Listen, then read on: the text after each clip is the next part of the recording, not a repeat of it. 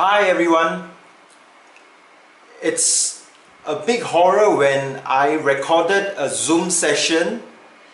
After one hour happily, I ended the session and it turns out the video wasn't converted into a video file. To me, is a big shock.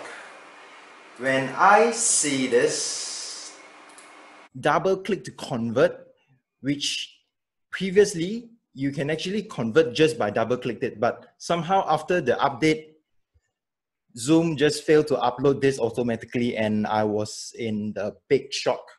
So um, i found out over um, another youtube video which i'll show you the link. If you like the video just head over there. If you like my video just continue to watch this to the end. So what i can see what you and me can see here is double click to convert and which is not going to happen.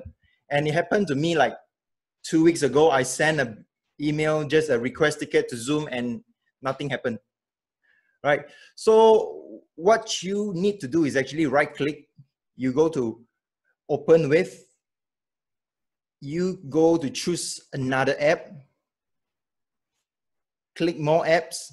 Look for another app on this PC. Hit this button, and you search. You go to this PC, and you click ZTS coder.exe and wait for the magic to happen.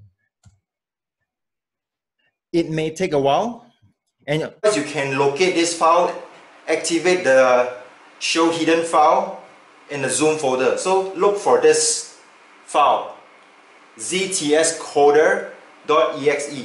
It will take some time. So after this, you open it up and it will be converted your video file will be converted straight away. So this is uh, this works for me right? I hope this works for you as well. And good luck and happy zooming. In one take one take one take